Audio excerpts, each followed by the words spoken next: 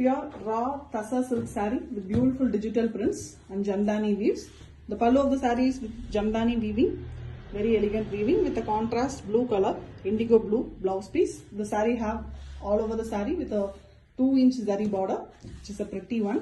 And the saree here is digital printed in a half and half pattern. The top half is with, very beautiful raw tussar color itself and the bottom is painted in blue. And the concept here is very elegant.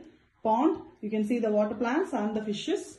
Very beautifully it's been done. It's a perfect kalamkari print sari and it is done on tussar with a raw form and comes with authentic silk mark.